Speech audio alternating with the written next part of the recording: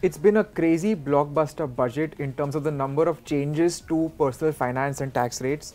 Uh, hi, this is Neil Borate. I am editor personal finance at Mint. I am joined today by CA Karan Batra of Chartered Club, and he's going to decode all of today's complexity for us. So, Karan, uh, let's focus today on capital gains tax, and uh, let's go asset by asset. So, if we can start first with stocks and equity mutual funds, if you can give us um, the long-term capital gains tax, uh, short-term capital gains tax, and what the dividing line is.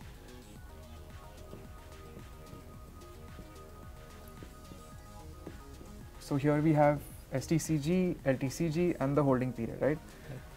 So the government says that earlier LTCG was taxed at 10%, which has now been increased to 12.5%. Right. Long-term capital gains has gone up to 12.5. Uh, short-term capital gains has also gone up. From 15 to 20%. Yep. So this too has sent shockwaves in the market, and a lot of short-term traders, Yes. their lives have become quite difficult now. Yes.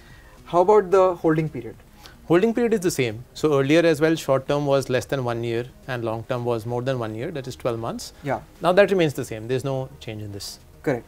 Hmm. So now this is for domestic equity, Indian equity. Yes. If you had to buy foreign stocks, Right. what uh, changes have happened there? So for foreign stocks, the period of holding is 24 months instead of 12 months. Yeah, that stays the same. right? Yes, that stays the same. The LTCG earlier was 20%. Now again it is 12.5%. Correct. Although it was 20% with indexation. Yes. Um, Now it is without indexation. correct. So government is doing away with the concept of indexation altogether. yeah, that is the big shocker of this budget, Yes. Yes. especially for real estate. We'll talk about that in a while. Yes. Uh, short term remains the same at slab yes. rate. right? Then uh, we have debt mutual funds. Hmm. Uh, so there has there been any change? No. Right? No change. Uh, then let's talk about gold Hmm. and then we'll turn to real estate. So Hmm. gold, what has been the change?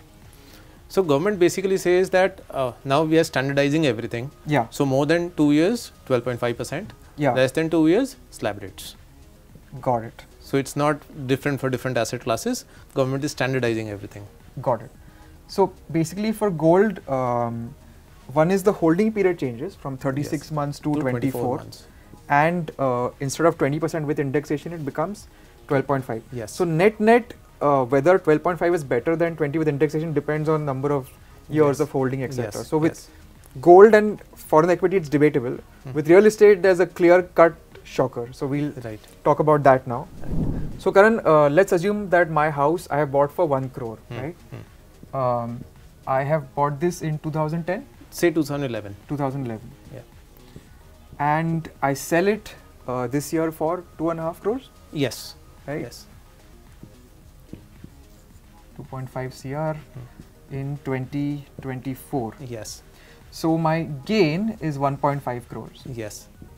Now earlier I would have been taxed on this at 20%, but with indexation. Yes. So it would not have been 20% of 1.5, but 20% of whatever the indexed value. yes. So typically, Yes. what would the indexed value of 1 crore be?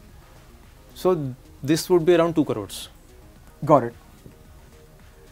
So this one becomes 2 Two. crores Yes. and uh, sold at 2.5. Yes. So it would have been 50 uh, 50 lakhs and 20% of that, which is 10 lakhs. Yes. That would have been my tax. Yes. Now without indexation, Hmm. where do we stand? So without indexation, the gain is 1.5 crores. On that, it's a flat tax of 12.5%. Right.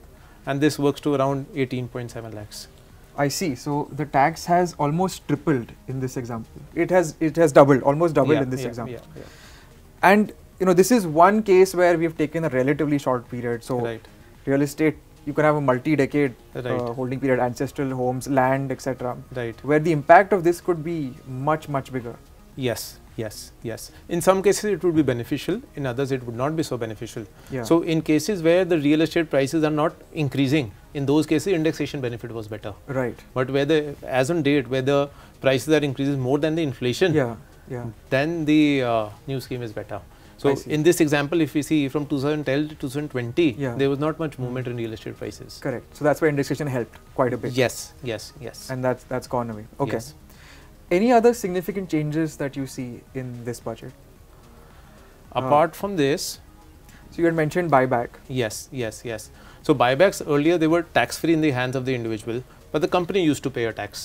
But Right. now it is taxed in the hands of the individual. Right. And sadly, it is not taxed in the same nature. So if I'm holding an asset, it should be taxed in the nature of capital gains. Right. So if I could just take a step back, Yeah. why this change was done? There was a demand from the industry that uh, in buyback, which is basically the company buying back its own shares from its own shareholders, Hmm. if you tendered your shares to the company, you had no tax. It was totally tax free. Yes. If you chose not to tender, you remained a shareholder, Hmm. then the company deducted uh, tax on your behalf. Right. Right. So it was kind of unfair to Right. shareholders who chose to stay put. Uh, and this is an attempt to get rid of that anomaly. But but you think it's made it even worse in a sense. So what a lot of people were doing it, or a lot of promoters were doing it, if they had to declare dividends, Yeah. they would have had to pay 30% tax plus Correct. cess plus surcharge. So they used to declare as uh, buyback. Buyback. And buyback on the buyback, the company pays only around 18 20%, not more than that. So there was a tax arbitrage. Right. Now they say even if there's a buyback, Yeah. then also we'll tax it as dividends only. Right.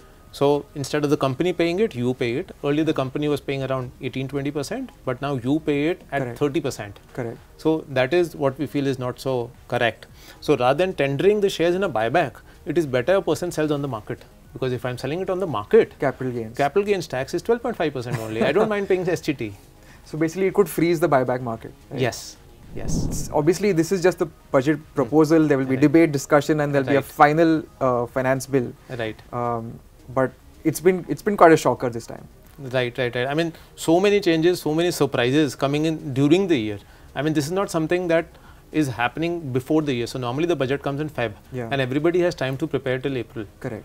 right? So if there's a real estate transaction which is underway, Yeah. the yeah. person could have concluded in the next month. Correct, month. correct. But here in this case, it has to happen today itself. Yeah. So let's take this example only. The tax liability of the person is increasing from 10 lakhs to 18 Yeah, lakhs. yeah. There's a 8 lakhs additional burden.